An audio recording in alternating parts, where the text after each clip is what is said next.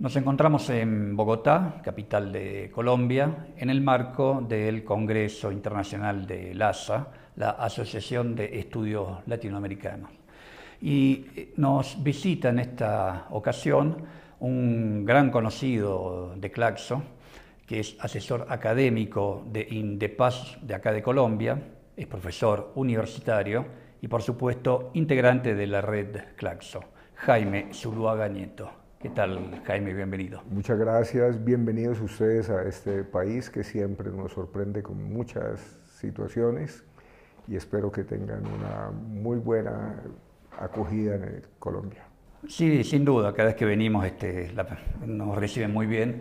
Y recuerdo en particular este, toda una serie de, este, de, eh, programas que hiciste eh, con Carolina Jiménez, justamente sobre el tema de la paz, pero ese tema de la paz en Colombia volveremos luego. ¿no? Ah, empecemos especialmente por este Congreso del ASA y el nombre que lo identifica, ¿no? Eh, que es reacción y resistencia, imaginar futuros posibles en las Américas. ¿no? ¿Qué significado tiene hoy en día, a mediados del año 2024, con todo lo que está pasando en nuestro continente y más allá también, este nombre? Teniendo en cuenta el momento por el cual estamos atravesando en Colombia, en el continente y creo que en el planeta, creo que el nombre no podía ser más oportuno y el sitio en donde el Congreso se está realizando no podía ser más afortunado. Efectivamente estamos en un momento de resistencias.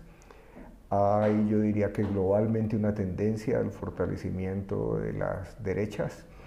Pienso yo que puede ser como una reacción final, confío, a la crisis de las políticas neoliberales, al crecimiento extraordinario de las desigualdades, resultado del modelo de desarrollo capitalista que se ha instaurado y cuyas características negativas de excesiva concentración de la riqueza se han acentuado en las últimas décadas a fenómenos tan graves como eh, la persistencia y la multiplicación de guerras en medio de esta pugna entre los grandes bloques de poder, del proceso de decadencia de la hegemonía de los Estados Unidos.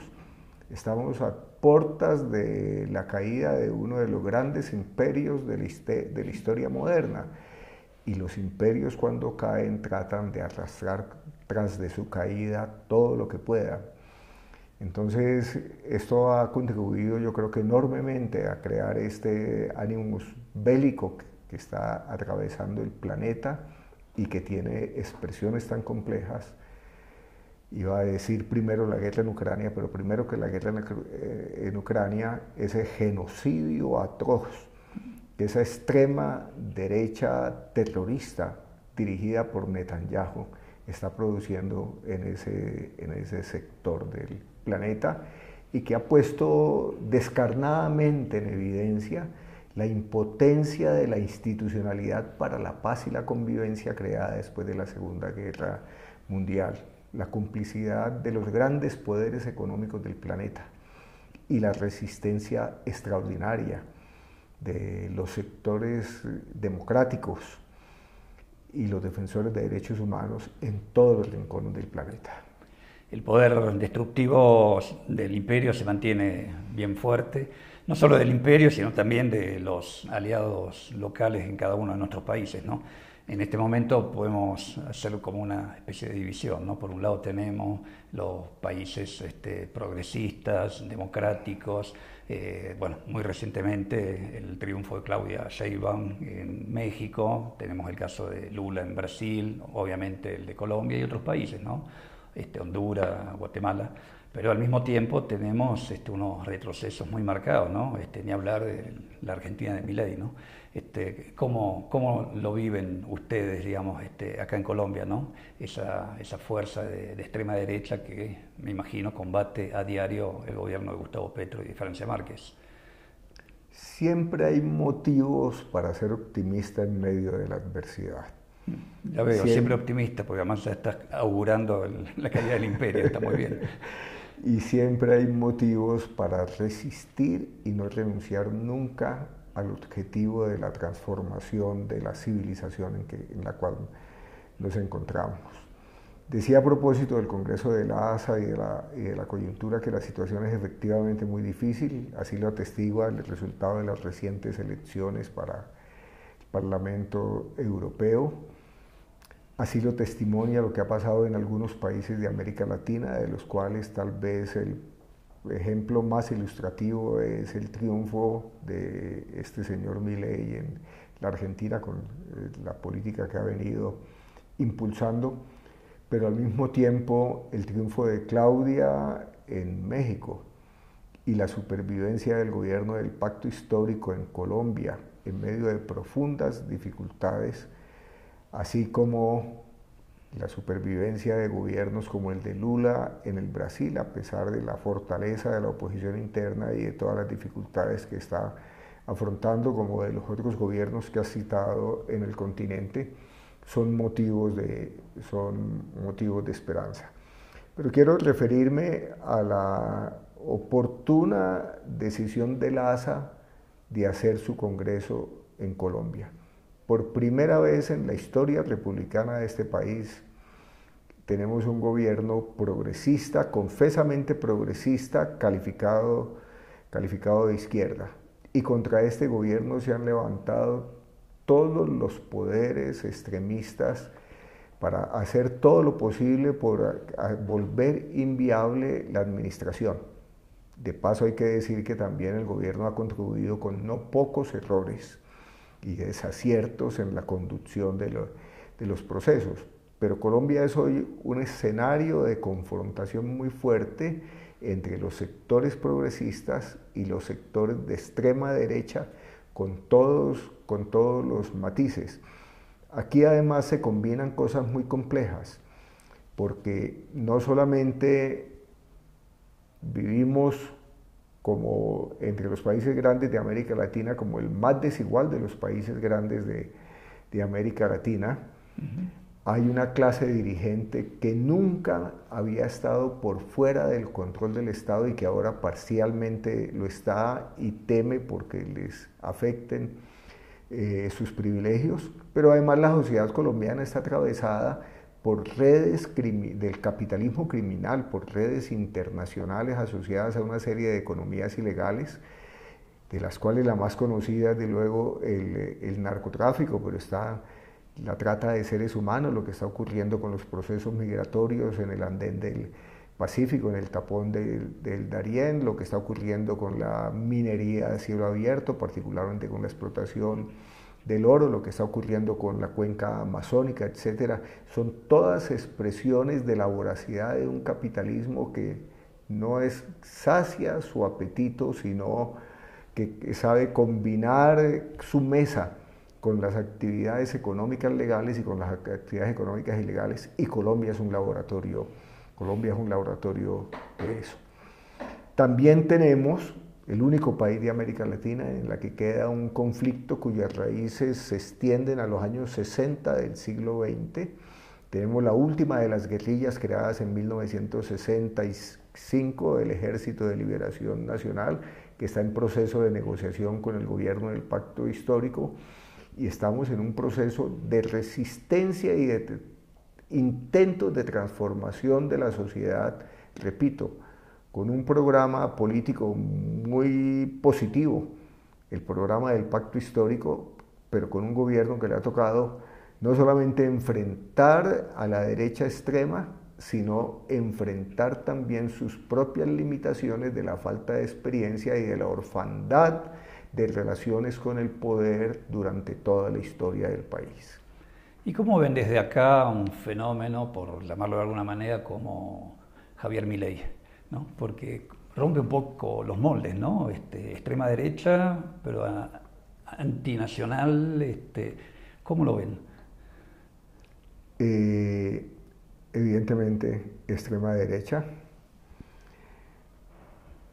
eh, antifeminista, profundamente racista, eh, discriminador como el, como el que más, y con una voluntad indeclinable de colocarse al servicio de los peores intereses del capital en este proceso de declinación de la economía capitalista y de colocar sobre las espaldas de su propio pueblo los más altos costos de la desaceleración de la economía y las dificultades económicas y políticas nos inquieta mucho, porque lo que ocurrió en la Argentina puede ser un anticipo de lo que puede ocurrir en algunos de nuestros países y no es un, no es un horizonte lejano para nosotros.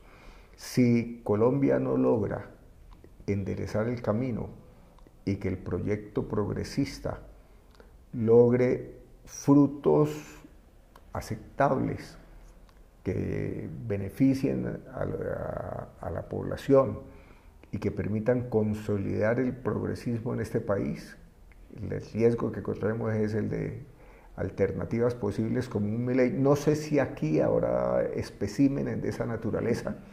Es posible que, es posible que sí, el problema es descubrirlo por el momento. Tenemos otro tipo de especies al acecho de la conquista del, poder, del, gobierno, que tienen unas características un poco diferentes, pero que coinciden con, coinciden con sus intereses. En ese sentido, yo creo que es fundamental el que los sectores progresistas y los pueblos, los sectores democráticos de, de este continente, además de los gobiernos progresistas, seamos capaces de impulsar procesos de integración y de unidad política para tratar de frenar este ascenso de proyectos como el de Milei en Argentina que son simplemente aterradoras. Habíamos pensado que Bolsonaro era la peor de las expresiones, pero como siempre los argentinos nos sorprenden con las mejores expresiones y las peores expresiones también en algunos casos. Siento decírselo así a un argentino, pero también en esos están resultando campeones. Como mi ley es difícil encontrar algo parecido como la atrocidad política en una coyuntura en donde el mundo está clamando por la igualdad, por el reconocimiento de los derechos por un nuevo trato con la naturaleza y por unir los esfuerzos por salvar a la humanidad de la catombe hacia la que nos están conduciendo. Todo lo que niega mi ley. Este, pero eh, entiendo que una reunión tan multitudinaria como esta del ASA es un buen encuentro para que ustedes, los académicos, académicas, investigadores, investigadoras, este, avancen, analicen y hagan propuestas sobre cómo imaginar futuros posibles en nuestra América. Indudablemente. El Congreso es una oportunidad para seguir soñando y para intercambiar entre nosotros experiencias, para aterrizar esos sueños y fortalecer las opciones de transformación. Estos congresos son, a pesar de los multitudinarios y de la multitud de temas de que, que se trabajan, siempre tienen esa, esa, ventaja y esa posibilidad. Y creo que llegó en un buen momento para América Latina. Creo que el Congreso, del Congreso pueden salir aires renovados y visiones eh, eh, reconfiguradas para enfrentar la novedad de los fenómenos que estamos, que estamos experimentando. Por lo pronto tenemos que decir, y debo decirlo, las relaciones diplomáticas entre el gobierno de Colombia y el gobierno argentino no pasan por muy buen momento, pero probablemente nunca habían sido tan sólidas y tan fuertes entre los pueblos argentino y colombiano. Antes de cerrar con otro tema de Colombia, este, veamos también el revés de la medalla un poco más optimista, ¿no? Volvamos muy brevemente a Claudia Sheinbaum y a su triunfo. Está bien, tenemos a Xiomara Castro en Honduras, pero Claudia es la primera mujer presidenta en la historia de México. Efectivamente, es un triunfo importantísimo, desde el punto simbólico, políticamente es un triunfo importantísimo. México es al fin y al cabo el país más importante en el extremo norte del, continente en el extremo norte del continente latinoamericano, tiene que lidiar con las relaciones con los Estados Unidos y la complejidad de las políticas migratorias y del proceso migratorio. Le va a tocar un periodo muy difícil, pero es evidentemente una campanada de alerta de los sectores democráticos en este continente de que es posible continuar trabajando y cambiando las condiciones adversas en las que muchas veces nos toca desenvolvernos. Aquí en Colombia, con dificultades también, a pesar de tener un gobierno progresista, Estamos avanzando en aspectos positivos. Acaba de firmarse un acuerdo entre el Ejército de Liberación Nacional y el Gobierno Nacional sobre el punto primero de la agenda que abre el camino a la participación de la sociedad en la definición de las propuestas democratizadoras de la sociedad colombiana. Precisamente con eso quería cerrar contigo, ¿no? Este, hace años que nos estás hablando del proceso de paz, de los orígenes, de la actualidad, ¿no? Es más, podemos adelantar que en breve en la plataforma Aula Claxo darás una clase magistral. Eh, ¿En qué estado se encuentra hoy el proceso de paz? ¿Qué es lo que falta? ¿Quiénes lo están saboteando todavía? Bueno, este país se dividió en torno a la referendación del acuerdo final con las FARC en el 2016, por una precaria mayoría, pero mayoría al fin y al cabo en estos juegos políticos electorales. Eh, el no a la refrendación del acuerdo final con las FARC de contenido reformista se impuso. Los sectores que históricamente han gobernado a Colombia temen mucho a los procesos de paz, porque los procesos de paz en Colombia siempre han, han estado asociados a movilizaciones ciudadanas y a propuestas por una transformación de la sociedad hacia la conquista de condiciones de igualdad, de buen vivir de la, de la población. Y a eso ha sido refractaria siempre la dirigencia tradicional de Colombia, aún en estos momentos tan difíciles. Entonces hay una oposición muy fuerte, pero a pesar de esa oposición fuerte, a pesar de las dificultades con los mismos movimientos insurgentes, todo proceso de paz es extraordinariamente difícil y las negociaciones en Colombia, estas últimas con el Ejército de Liberación Nacional, han resultado muy complejas por las características de la organización y de la coyuntura en la que estamos viviendo, por lo que ha pasado con el acuerdo final, por el incumplimiento parcial del Estado con los compromisos de la paz. Todos esos factores inciden. Se logró un acuerdo muy, realmente un acuerdo muy importante que eh, despeja un poco el camino hacia el futuro y que muestra que es viable avanzar en medio de las dificultades.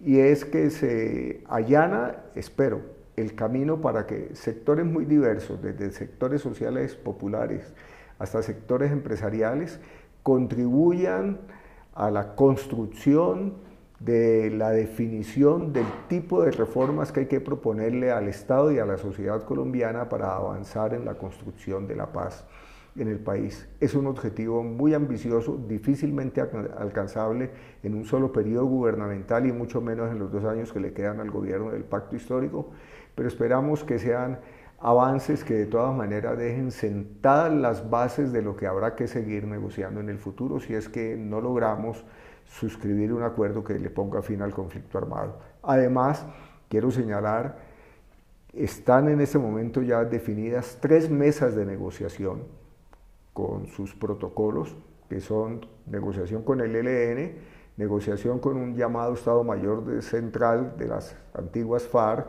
un grupo disidente que no negoció en el 2016, y con la llamada Segunda Marquetalia, que fue el mm. grupo disidente que por motivos, aducen ellos, de un entrampamiento, de una conspiración para hacerlos aparecer como narcotraficantes, decidieron abandonar el proceso de paz y volver a las armas. En ese momento ya esas tres mesas están establecidas y tenemos la esperanza de que se pueda efectivamente avanzar con ellas.